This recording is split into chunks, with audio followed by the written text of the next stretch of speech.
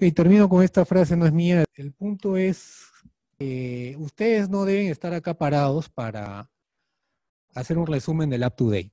Para eso simplemente les digo, oye, lean el up to date, este punto inclusive mm, tiene link, ¿no? Es fácil, fácil leer el punto en específico en, el up to date sobre ese tema, ¿no? O sea, esta no es la idea de, de pararse acá. La idea de pararse acá es que ustedes transmitan algo que no es, no lo va, las demás personas no lo van a poder realizar o van a tomarse más tiempo en realizarlo ellos mismos, ¿no? Entonces, si un alumno, yo, le, me leo acá el Harlison, no tiene sentido, ¿no? O me leo el Up no tiene sentido. Entonces, la charla obviamente yo la tengo que preparar en base a dos o tres bibliografías que he leído sobre el tema y hacer un resumen de esto. ¿no?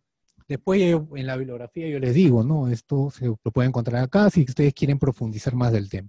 Y el objetivo final es que el público salga de acá con algo que diferente, ¿no? Algo, algún concepto diferente de, del tema que yo quiero exponer. ¿no? Y o por lo menos comprometidos a investigar más sobre eso. ¿Por qué? Porque les va a servir o lo, o lo tienen, que, lo tienen que usar.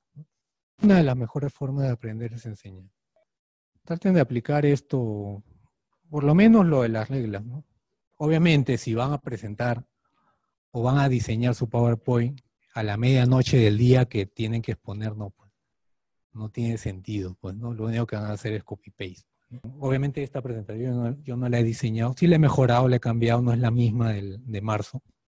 El video, por ejemplo, en marzo no lo puse. Tiene que haber una planificación, ¿no? Y obviamente preparar o hacer el cambio me demoró tres o cuatro horas, pero ya tenía, ya tenía la base. Pero si me dicen para poner de un día para otro un tema, no, pues es imposible. Es imposible si lo quiero hacer bien. ¿no? Siempre debe planificarse.